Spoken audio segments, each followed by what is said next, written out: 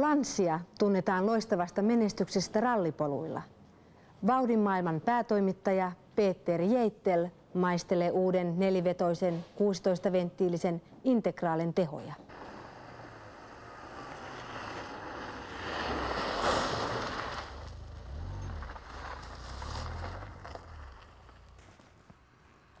Äkkiä katsoen uusi integraale ei eroa oikeastaan ollenkaan vanhasta. Mutta kun katsomme tarkemmin, niin huomaamme konepellissä tämmöisen patin. Se tarvitaan, että saadaan kaikki parisataa plus hevosvoimaa kyytiin. Katsotaanpa tänne itse voimalaitosta. Täällä on kovasti kauniin ja tyylikkään näköinen kaksilitrainen 16-venttiilinen turbokone, joka paperien mukaan antaa 200 hevosvoimaa ja tämän mittauksemme mukaan niin jopa hiukan ylikin. 208 hevosvoimaahan siitä irtosi.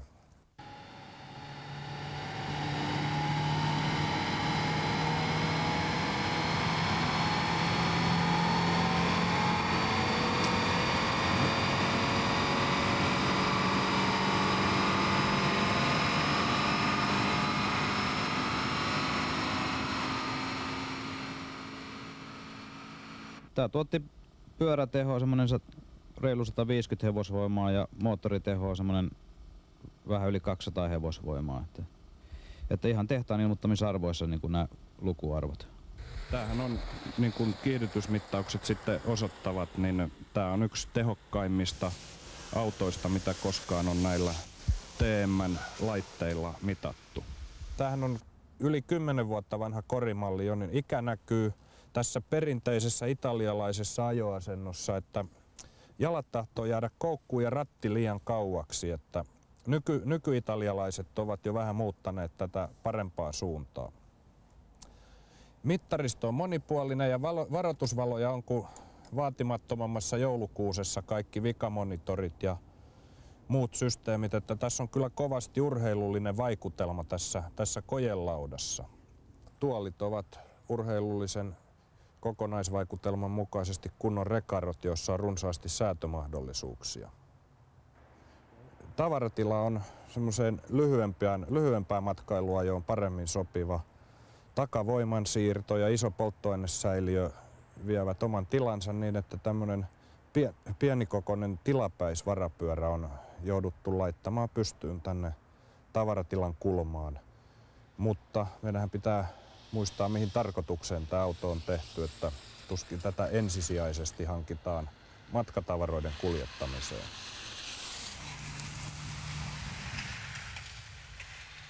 Suorituskykyhän on hurjaa luokkaa siviiliautolle.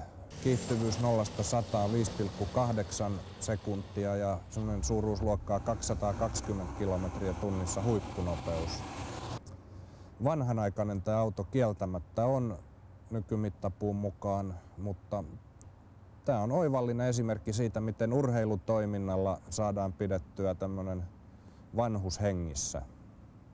Kun Lanssia tekee kilpa-auton aihion, niin lokasuojan levityksetkin ovat silloin reilut ja kunnolliset, eikä, eivätkä ainoastaan ulkonäkösyistä, vaan päätarkoitus on se, että saadaan riittävän leveät renkaat alle ja sehän korostuu sitten kilpaversiossa erityisesti asfalttiralleissa. Lanssia on saanut tämän vanhan, toistakymmentä vuotta vanhan Delta-mallistonsa tämän kilpailumenestyksen kautta aika kivasti pysymään hengissä ja kilpailun koventuessa niin on ollut pakko nyt sitten tehdä tämmöinen 16-venttiilinen versio. Suomeen näitä autoja tulee alkuvaiheessa ehkä parisenkymmentä kappaletta.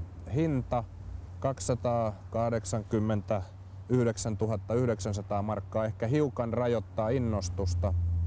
Onneksi kuitenkin laki suo mahdollisuuden kilpailukäyttöön osallistua autoilla, joista ei välttämättä tarvitse autoveroa maksaa. Se tekee vähän edullisemmaksi tämän, joten uskon, että näitä tulee lähitulevaisuudessa rallipoluilla näkymään runsaasti.